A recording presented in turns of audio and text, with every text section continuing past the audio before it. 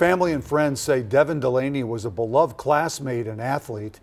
He family says he died this weekend while visiting friends at North Dakota State University in Fargo. Campus police are investigating. KARE 11's Gordon Severson spoke with some of his friends today. Gordon?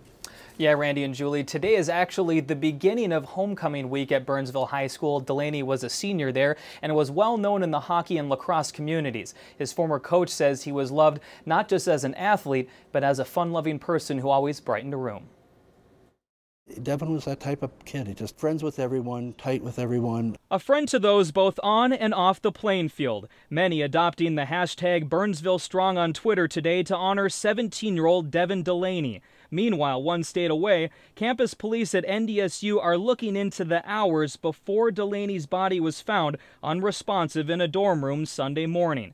Emergency responders tried saving his life, but were unsuccessful. Quite a gut punch. Former coach and lifelong friend Paul Norling says he'll always remember Delaney's zest for life and his blazing speed on the ice rink. Players would just, you know, think miscalculate what he was going to do and he would be right by him. One of the best scorers on the Burnsville Junior Gold team, but Norling says Delaney's greatest moment as a player actually came when he was just a peewee.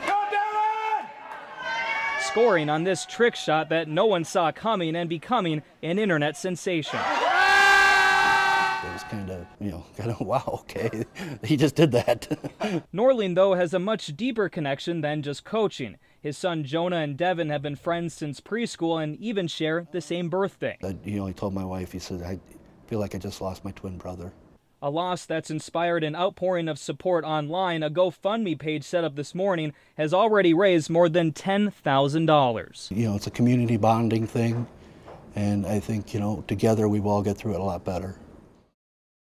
The Delaney family released a statement this afternoon saying their son was a bright young man with a promising life ahead of him who always brought joy to the people around him. Police at NDSU are still working on an exact cause of death, but they do tell us that they don't think any foul play was involved. Randy and Julie, back to you. All right. Thank you, Gordon.